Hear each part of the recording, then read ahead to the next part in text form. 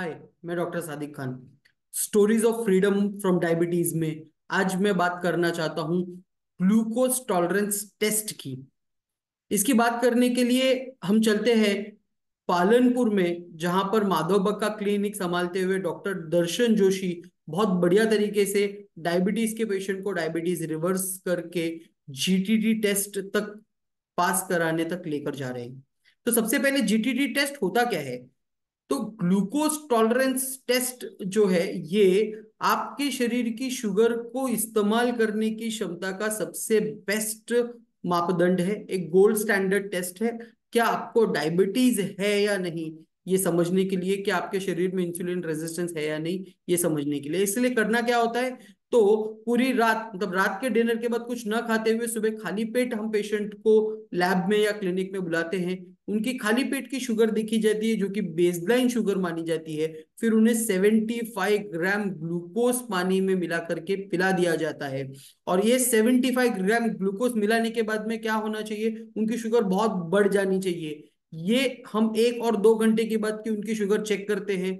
But मुझे ये बताते हुए खुशी होती है कि आज तक कई लाख ऐसे डायबिटीज़ के पेशेंट है जिन्होंने माधोबाग की ट्रीटमेंट ली और ट्रीटमेंट लेने के बाद जब उनकी जीटीटी टेस्ट की गई तो 75 ग्राम ग्लूकोज लेने के बाद भी उनकी ब्लड शुगर नहीं बढ़ती है।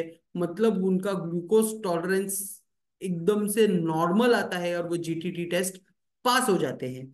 तो ये ऐसे ही जीटीटी टेस्ट पास हुए एक पालनपुर के पेशेंट की हम कहानी यहाँ पर देखते हैं, जिन्हें अभी अभी पता चला था डायबिटीज़ के बारे में, क्योंकि उन्हें बहुत ज़्यादा प्यास लगना, भूख लगना, सर दर्द, कमज़ोरी ऐसी तकलीफ़ होती थी और वो डॉक्टर के पास गए, उन्हें पता चला कि डायबिटीज़ ये प्रॉब्लम है उन्हें और उसके लिए उन्हें दवा लेने की सलाह दी गई। पर वो वहाँ पर ट्रीटमेंट न शुरू करते हुए वो माधवबाग आए। माधवबाग की पंचसूत्री चिकित्सा उन्होंने चालू की।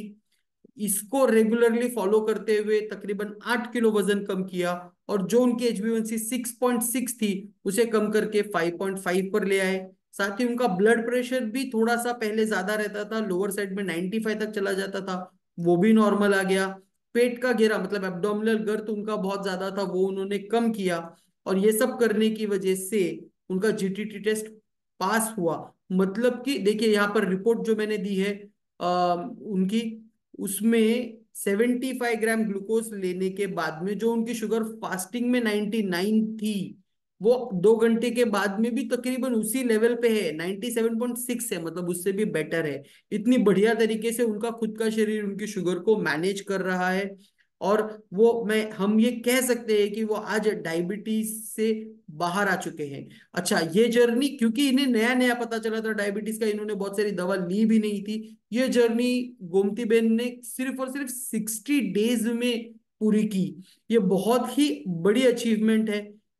अगर आप भी इसी तरीके से जल्द से जल्द अपने डायबिटीज़ से आज़ादी चाहते हैं डायबिटीज़ के लिए अगर आप कोई दवाइयाँ ले रहे हैं और उससे आज़ादी चाहते हैं तो आप माधवबाग के क्लिनिक ज़रूर आइए। और अगर आप पालनपुर या उसके आसपास के इलाके में रहते हैं तो आप वहाँ पर डॉक्टर दर्शन से मिलकर, उनकी सलाह लेकर, आपकी डिज़ीज़ रिवर्सल की जर्नी को शुरू कर सकते हैं आज से ही।